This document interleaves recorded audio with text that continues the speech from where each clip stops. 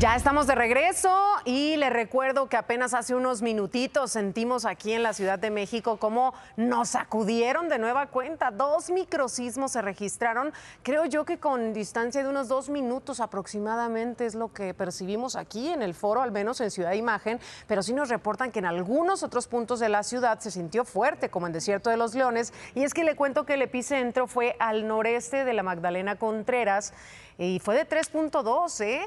Se sintió fuerte en la Roma Norte, en Mixcoac también.